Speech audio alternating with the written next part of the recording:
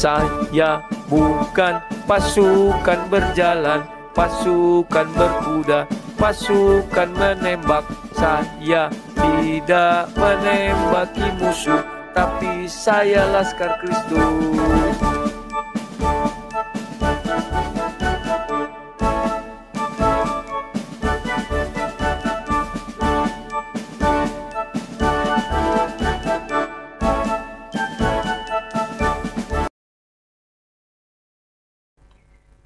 Tidak ada seorang pun umat Islam mau melakukan sholat kalau tidak diiming-imingi masuk surga.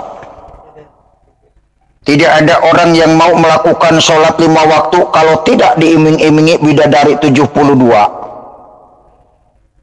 Jadi jelas, orang sholat itu mengharapkan pahala supaya masuk surga dapat bidadari. Ya, Sekalipun Al-Quran tidak menyebutkannya, mereka bangga. Mati syahid. Inilah namanya juga doktrin yang menyesatkan. Tidak ada ayatnya di Al-Quran orang mati membunuh masuk surga.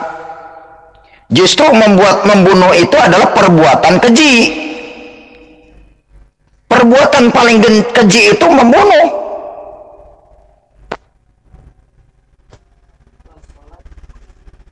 Inilah kekeliruan umat Islam. Disuruh mendirikan sholat malah mendirikan diri pribadi siang malam lima kali. Karena didoktrin oleh orang Arab. Sholat yang diperintahkan didirikan oleh Allah itu adalah mencegah dari perbuatan-perbuatan keji dan munkar. Sebagaimana dikatakan surat 29 Al-Ankabut ayat 45 bukan sholat tunggang tunging. Karena tidak paham sholat tunggang tunging dianggap nyembah Allah. Itu masalah sembah batu. Bajar aswan. Gue kan mengalami ke Mekah berkali-kali. Sembah batu itu. Ya makanya yang cerdas mendengar voice note Muhammad Kaca pasti murtad. Kalau yang nggak mau murtad itu belum cerdas Sholat yang harus didirikan itu adalah mencegah dari perbuatan-perbuatan keji dan munkar. Itu sholat yang diperintahkan oleh Al-Quran. Katanya Al-Quran pedoman umat Islam. Tapi kenapa itu perintah sholat mencegah perbuatan keji dan munkar ditinggalin? Inilah akibat orang baca Quran cuma baca huruf Arabnya saja yang diperhatikan tajwidnya, mahorijul hurufnya, nadanya, panjang pendeknya, artinya tidak diperhatikan. Nah, akibatnya begitu. Ya, akibatnya begitu. Gak paham. Jadi salah alamat. Disuruh ngambil piring malah ngambil golok. Sama dengan begitu. Disuruh berbuat baik malah berbuat jahat disuruh mengasihi malah ngebom nah itu akibat salah alamat akibat tidak paham Al-Quran coba kalau umat Islam paham Al-Quran menurut Al-Quran yang akan datang hari kiamat itu Isa Al-Masih oh pasti sudah lari kepada Isa Al-Masih itu yang akan menyelamatkan jelas ya hmm. Aduh, udah nunjukin gobloknya lagi. Selalu bilang Muhammad bin Abdullah, Muhammad bin Abdullah. nggak berani bilang Muhammad Rasulullah gitu ya kaci ya. Kalau kamu ngomong Injil kami beriman sama Injil tapi Injil yang dibawa Nabi Isa bukan Injil yang dibawa Lukas. Bukan Injil yang dibawa Matius bukan Injil yang ditulis Lukas dan Matius. Kamu goblok dan nalar-nalar dari kemarin itu ya. Kamu coba agak baca lagi ayatnya coba tak dengerin lagi. Tak simak Waduh, sok-sok tahuan kamu ini kaji. Makanya andalan kamu ngomong Muhammad bin Abdullah. Muhammad bin Abdullah itu adalah se seorang hamba. Tapi kalau Muhammad Rasulullah kedudukannya sebagai rasul. Otak kamu itu memang minta direparasi, kaji. kamu hanya bisa bertanya dan tidak punya kemampuan untuk menjawab. Tadi kan Anda membahas tentang Hajar Aswad kan? Menghujat batu Hajar Aswad. Nah, selama ini saya sudah memberikan materi kepada Anda tentang Hajar Aswad dipandang dari segi keislaman. Nah, sekarang saya ingin Anda paham Hajar Aswad berdasarkan atas nubuatan. Ngerti nubuatan? Kalau nggak ngerti saya terangkan kepada Anda. Nubuat itu adalah ramalan Nabi tentang sesuatu. Nah, di dalam ulangan di dalam Yesaya 60 ayat 6 yang saya bacakan tadi. Di situ jelas nubuatannya terpampang dengan nyata. Sejumlah besar onta akan menutupi daerahmu. Itu kejadiannya di mana? Itu terjadi di mana dan itu digenapi oleh mana? Digenapi oleh wilayah mana? Onta-onta muda ya, mereka semua akan datang dari Sheba akan membawa emas, dan kemenyan serta memberitakan perbuatan masyur Tuhan. Ini digenapi oleh siapa? Ya. Daerah mana, wilayah mana yang menggenapi hal ini? Bahwa sejumlah besar onta akan menutupi daerahmu. Itu di mana kejadiannya? Di Patikan? Di Yerusalem? Atau di mana itu terjadi? Ini perlu untuk kamu jawab. Supaya kamu tahu bahwa apa yang disembah oleh umat Islam itu bukan batu, tetapi dia sang pemilik alam semesta ini.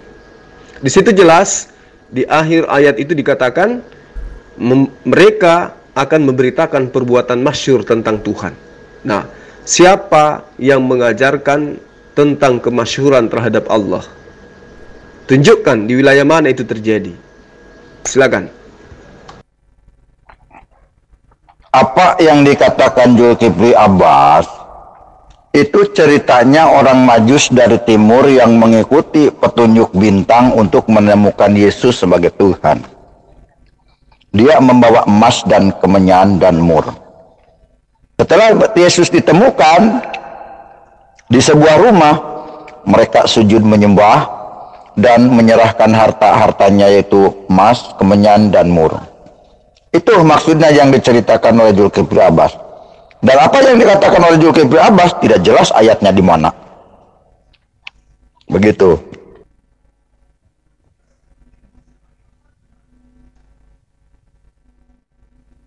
Sudah makan selesai. Tidak ada ayatnya di Al-Quran Muhammad bin Abdullah kelahirannya. Tidak ada ayatnya di Al-Quran yang menerangkan Muhammad bin Abdullah sunat. Tidak ada ayatnya di Al-Quran bahwa Muhammad bin Abdullah cium Ka'bah. Cium Hajar Aswad. Tidak ada.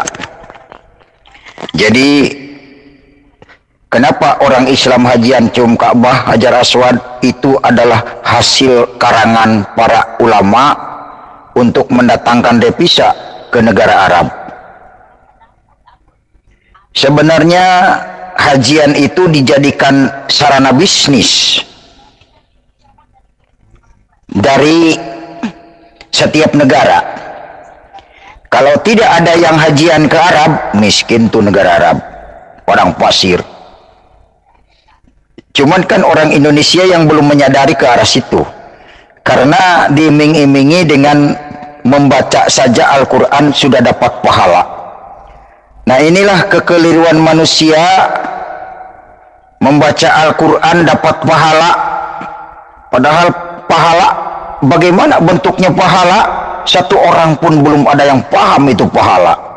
Umat Islam kalau ditanya pahala bagaimana wujudnya? Oh besar pak. Rodanya enam. Belakang empat depan dua. Itu pahala pahala kencana. Sebelum saya menanggapi video ini keder ya. Tidak ada di Quran dibangga-banggain manusia diberikan ruh Allah itu dengan tujuan agar manusia itu jadi wakil Allah menjadi penguasa di muka bumi. Begitu. Itu tujuannya. Bukan jadi wakil setan jadi wakil iblis. Orang penghujat pencaci maki orang iri hati orang pembunuh pengebom itu dia wakil iblis wujud. Kelihatan oleh manusia. Disuruh jadi wakil Tuhan kok malah jadi wakil iblis? Jahat. Ya. Korupsi tepu merampok itu kan jahat. Cobalah manusia ini yang merasa diciptakan Tuhan jadilah wakil Tuhan.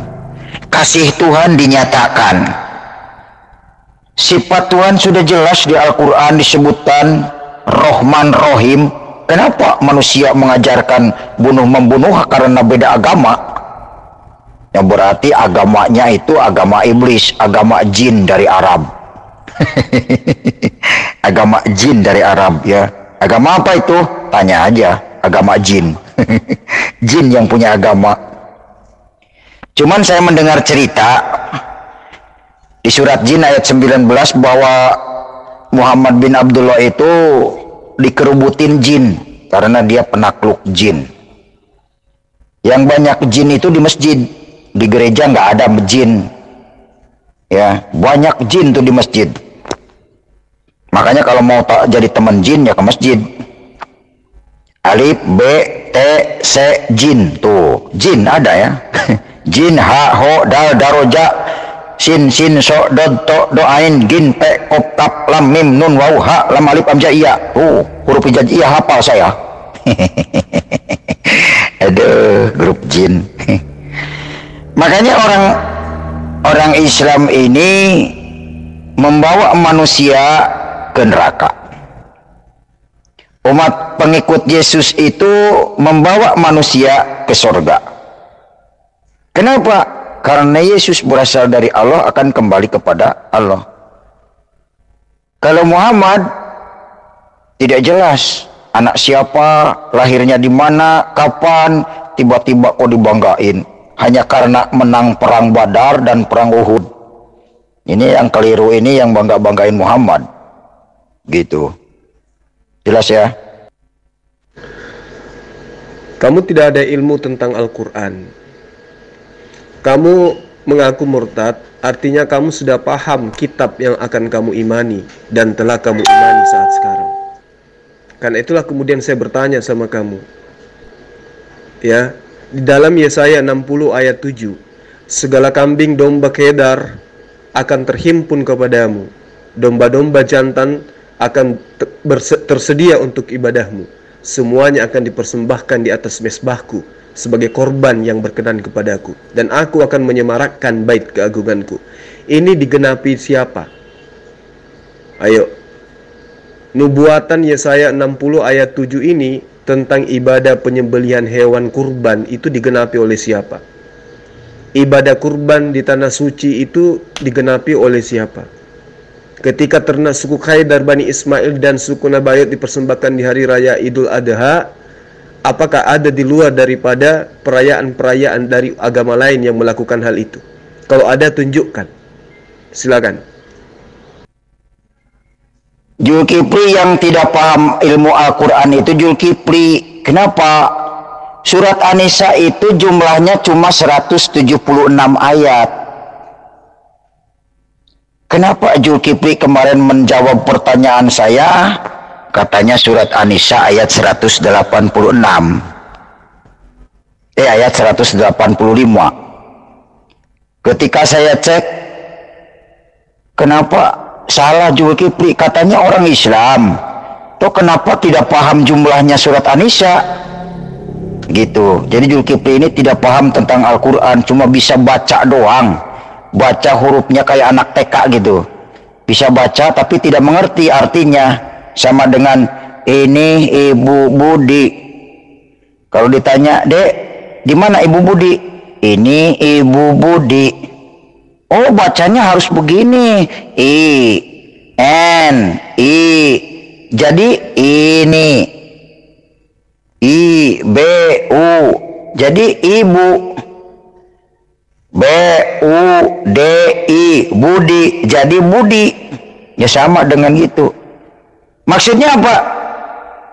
Gak tahu. Begitu. Beda dengan anak SMA. Ini ibu Budi. Maksudnya apa? Ini menerangkan ibunya Budi ini nih namanya nih.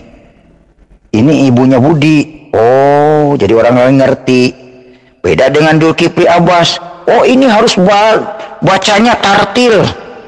Sesuai ikiraatil Quran. Mahorijul hurufnya panjang pendek. Nih bacanya begini. Fawailul muslimin. Artinya apa? Waduh kagak paham. Bagi yang paham, apa artinya itu? maka kecelakaanlah bagi orang-orang yang sholat. Begitu. Itu bagi yang paham. Tapi Zulkifli Abbas kan nggak paham ke situ. Pahamnya cuma baca doang. Aduh. Disuruh ngikutin Isa Al-Masih, juru selamat malah bikin Nabi Muhammad Sallallahu Alaihi. Padahal tidak ada nama Muhammad Wasallam di Al-Quran. Tidak ada. Nih saya mengasih tahu kepada orang Kristen Cari ayatnya di Al-Quran. Adakah Muhammad Wasallam? Tidak ada. Kalau tidak ada, berarti yang benar itu Muhammad Kace, bukan Julkipli Abbas. Julkipli Abbas itu hanya pandai merangkai cerita yang benar jadi melenceng. Putar-putar balik. Biar seolah-olah pintar. Panjang pendek Wah, direbu, disibukkan dengan mahorijul huruf, dengan tajwid. Wah, kacau nih. Jadi yang nggak ada ilmu itu Zulkifli Abbas tentang Quran ya. Jangan coba-coba mengatakan Muhammad Kacet tidak ada ilmu tentang Quran. Ya, kamu yang nggak paham. Masa surat Anisa ayat 185? Aduh, pasti malu nih. Diginiin sama Kacet. Udahlah kace, Tuhanmu kan roh. Simple aja sekarang pertanyaannya. Bedanya Tuhan kamu itu, roh Tuhan kamu dengan rohnya Wewe Gombel apa kace? Rambutnya sama-sama panjang.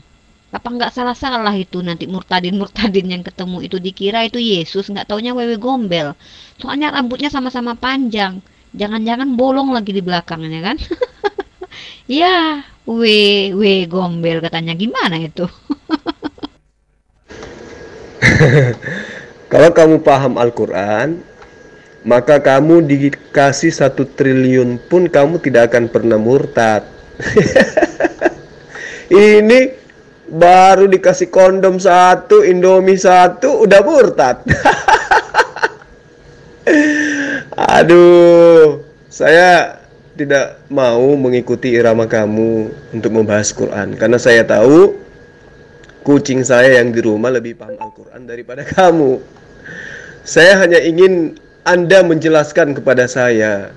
Yesaya 60 ayat 7, segala kambing domba Keldar. Nah tuh, kan udah disebut di situ ya. Keldar itu kan anak daripada Nabi Ismail. Segala kambing domba keturunan Ismail akan terhimpun kepadamu. Ayo, domba-domba jantan akan tersedia untuk ibadahmu Ayo, semua akan dipersembahkan di atas rumah ibadahku atau mesbahku atau betelku atau baitku atau baitullah sebagai korban yang berkenan kepadaku. Dan aku akan menyemarakkan bait keagunganku. Ayo i rumah ibadah mana yang yang semarak orang ibadah berkenaan dengan kurban?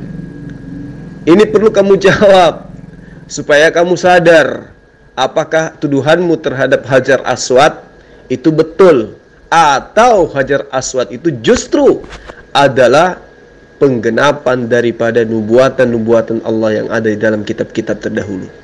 Kalau kamu katakan bahwa yang menyemarakkan rumah ibadahnya dengan kurban itu bukan Islam, tunjuk lalu agama mana yang yang menggenapi nubuatan ini. Silahkan. Justru saya murtad ini paham Al-Quran Zulkifli. Di Al-Quran itu tidak ada ayatnya Muhammad bin Abdullah akan menjadi juru selamat. Muhammad bin Abdullah itu dikubur di Madinah. Mati. Muhammad bin Abdullah itu istrinya ada 23 itu yang diakui, belum yang nggak diakui. Terus Muhammad bin Abdullah itu kawin dengan Aisyah binti Abu Bakar Siddiq ketika umur 6 tahun. Ada hadisnya tuh hadis Bukhari. Jadi inilah yang membuat saya kuat di dalam nama Yesus. Karena di Al-Quran tidak ada ayatnya orang Islam akan masuk surga. Tidak ada ayatnya. Ya pelaksanaannya sih nanti ya minimal ayatnya aja dulu lah ada ayatnya gitu. Tidak ada ayatnya Muhammad bin Abdullah akan turun lagi menjadi sang juru selamat tidak ada. Sehingga Muhammad berkata di dalam hadisnya ya Fatimah anakku banyak-banyaklah berbuat baik karena aku tidak bisa menyelamatkan kamu. Coba anaknya sendiri tidak bisa didoakan apalagi eh, tidak bisa diselamatkan. Apalagi Julkipli yang orang Bugis yang kerjaannya tiap hari bawa badik. Keselamatan Julkipli kan dari badik. Bawa badik di perut. Aduh. Jadi kalau Julkipli ini keselamatannya bukan dari Tuhan ku badik. Ya bawa badik kerjaannya tiap hari. Paham badik? Pisau. Jadi bukan Tuhannya yang menyelamatkan badik. Bagaimana Muhammad bin Abdullah bisa menyelamatkan Julkifli Abbas? Logikanya nih Muhammad sendiri masih didoakan. Allahumma sholli ala Muhammad wa ala alihi Muhammad. Mikir dong. Nabi masih didoakan. Sadar Bang Jul. Kasihan doa daripada lu nanti menyesal di neraka yang mending sekarang ya. Dikasih tahu sama Mawan kece. Kasihan. Kamu jangan membawa orang ke neraka. Bawa orang itu percaya Yesus supaya masuk surga. Karena Yesus ada di surga. Sang Bapa yang di surga. Lihat doanya begini. Ya Bapa kami yang di surga dikuduskanlah namamu datanglah kerajaanmu jadilah kehendakmu di bumi seperti di sorga. Bapak kami yang di sorga, doanya juga. Berarti jelas Tuhannya ada di sorga. Kenapa Zulkifli Abbas tidak mau membahas Al-Quran dengan Muhammad Kace? Karena tahu dia tidak menguasai Al-Quran. Buktinya kemarin mengatakan jawaban ada di surat An-Nisa ayat 185. Setelah saya cek jumlah ayat di surat An-Nisa cuma ayat 176. Di situ Julkifli Abbas kewirangan mau membohongi orang orang Islam dan orang Kristen. Ya, tidak jauh dengan Yahya Waloni, ada Markus 29 ayat 9, Ustadz Kainama, Matius 40 ayat 42. Ya, nggak jauh lah dengan Zulkifli M. Abbas. Anissa ayat 185. Begitu saya cek, Jo salah. Oh, saya nguji kamu aja. Oh, ayat 85 dibacakan. Ayat ayat 85 juga sama, tidak menunjukkan bahwa orang sholat akan masuk surga ada juga di situ orang yang beriman dan bertakwa akan masuk surga. Tuh, bukan orang sholat. Karena orang sholat belum tentu beriman dan bertakwa. Orang sholat hanya mendirikan tiang agama Islam. Bukan mencegah perbuatan keji dan munkar, bukan. Sholat itu hanya mendirikan tiang agama. Nah ini yang Zulkifli belum paham tentang sholat Makanya dianggap sholat menyembah Allah. Oh tekun. Setelah sholat dikir baca surat ayat kursi tujuh balik. baca surat Yusuf. Baca baca terus semuanya dibaca ayat kursi ayat mejanya tidak ada. Setan malah ketawa. Setan juga bisa sembah, bisa nyebut nama Allah, cuman tidak mau taat kepada Allah. Zulkifli juga bisa nyebut Allah, cuman kan menyembah Allah tidak mau, ya. Lebih suka menyembah batu Hajar Aswad ikut-ikutan, tunggang-tungging, ya. Bacaan bacaannya aja waktu sholat kan nggak paham Zulkifli Abbas. Bes itu. Jadi bagaimana umat Islam ini akan selamat? Orang sudah tertulis di Al-Quran akan celaka. Kalau sudah ditentukan umat Islam ini akan mendatangi neraka, tidak mungkin datangnya ke sorga. Karena alamatnya mendatangi neraka. Begitu. Ya saya sih mengingatkan saja kepada Julkifli Abbas. Mau percaya silahkan. Tidak percaya juga nggak keberatan. Yang penting umat Kristen jadi punya pemahaman dari sini. Ya, tidak bisa dibohongin lagi oleh penipu-penipu yang akan membawa manusia ke neraka. Orang sholat itu akan celaka. Wawailul musallin. Aduh, haleluya. Zulkifli Abbas makin ket, makin pusing. Materi-materi yang kamu sebutkan itu, yang kamu dapat dari link itu, semuanya sudah pernah saya baca. Ya toh? Jadi kalaupun kau mengajak orang lain untuk memahami Islam itu adalah ajaran yang salah, ya kamu harus membekali dirimu dengan ilmu Quran. Bukan membekali dirimu dengan ilmu link. Ya. Nah, ketika saya membaca tentang Ling-Ling, Robert Mori, Alisina, Duladi Samarinda, FFA apa? FFI ya.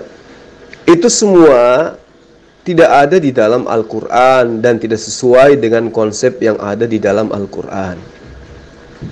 Nah, setelah saya membaca itu, kemudian saya belajar tentang kitab orang-orang Kristen dan juga kitabnya Bani Israel. Terlalu banyak nubuatan di dalamnya yang digenapi oleh Islam. Nah, sekarang andaikan kamu itu paham Islam, maka kamu akan mengerti bahwa Sulkifli ini jauh lebih paham daripada kamu. Nah, kalau niatanmu itu benar adalah sebagai penganut ajaran yang benar, maka tentu kamu akan melayani saya menjabarkan tentang apa yang saya katakan. Kita sudah pernah membuktikan, ya toh, bagaimana kamu membaca Quran hanya menggunakan huruf Latin. Paparan-paparanmu tentang Islam, tentang Al-Quran itu tidak kena terhadap yang seharusnya. Artinya, sekarang kamu menjadi murtad. Oke, nah ajarkan saya kebenaran dalam agamamu yang sekarang berdasarkan kitabmu. Makanya saya tanya samamu, ketika di dalam kitab yang diambil dari Bani Israel tentang nubuatan segala kambing domba kedar akan terhimpun kepadamu, domba-domba jantan akan tersedia untuk ibadahmu, semuanya akan dipersembahkan di atas baitku sebagai korban yang berkenan kepadaku dan aku akan menyemarakkan bait keagunganku. Itu digenapi oleh siapa? Kalau kamu persalahkan Islam, lalu siapa yang menggenapi ini? Tunjuk. Tunjuk satu agama yang menggenapi dalil-dalil ini. Silahkan. Ya, eh, kalau saya boleh berkomentar ya, pintar sekali cara Pak Zulkifli menyelewengkan ya. Dia selalu mau mengarahkan ya ketika uh, ayat Qur'annya, ayat kitabnya dipertanyakan, dia akan selalu mengalihkan ke Alkitab, lagi-lagi Alkitab, lagi-lagi Alkitab. Dia tidak pernah bisa membahas ayatnya sendiri. Ini dia tidak pernah bisa membahas ayatnya sendiri. Nanti kalau soal Yesaya 60 nanti akan kita bahas ya, akan kita bahas tetapi lihat caranya bahwa dia tidak pernah bisa membahas ayatnya sendiri dari dulu sampai sekarang. Materi materi Ya, Julkifli bait Allahnya saja belum paham bagaimana paham dengan Allahnya. Hmm, hmm. Saya dalam hal ini tidak akan melayani yang lain lagi. Julkifli aja dulu. Soalnya sering dipolitisir oleh Julkifli Abbas. Ketika saya menyela, eh, melayani yang nyela, dianggaplah Muhammad KC kabur. Ke mana nih Muhammad KC? Hmm, dikira, uh suaranya lemes kesel kedondong. Itu, makanya saya Julkifli Abbas terus yang saya akan terus saya cecer Sejauh mana dia pemahamannya tentang Al-Quran? Ya Zulkifli Abbas kan mau mengalihkan topik ini kepada Alkitab, saya paham. Makanya saya tidak mau ngikutin aturan main Zulkifli Abbas. Orang licik dia. Hmm. Zulkifli Abbas kan tidak paham Baitullah. Dianggapnya Baitullah itu batu hajar aswad. Oh iya Baitullah itu. Karena tidak mengerti bahasa Arab, arti bait itu rumah, Allah itu rumah Allah. Dikiranya Allah itu ada di dalam batu. Makanya orang yang datang ke Mekah itu la baik Allahumma la baik la syarikalaka la baik innal hamda wa ni'mata. Aduh, artinya apa? Aku datang memenuhi panggilanmu ya Allah. Aku tidak menyekutukan kau ke dalam batu. Giliran disebut, "Eh, kamu sembah batu." Oh, bukan. Bukan sembah batu. Saya sembah Allah. Allahnya di mana? Wallahu alam bisawab. Aduh, kacau, kacau, kacau. Bagaimana sembah batu dibilang sembah Allah? Sudah jelas-jelas itu batu segitu besarnya dianggap sembah Allah. Di sinilah Zulkifli Abbas tidak paham mana yang baik dan mana yang buruk. Mana Allah, mana yang bukan itu tidak paham. Ya, makanya Zulkifli Abbas ini kalau dikejar-kejar ayat Al-Quran nama saya, kabur dia ke mana-mana. Nggak lama juga nangis dia. Nangis dia ke temannya ngomong, eh, saya dihajar dari Al-Quran oleh Muhammad Kace. eh, kasihan loh.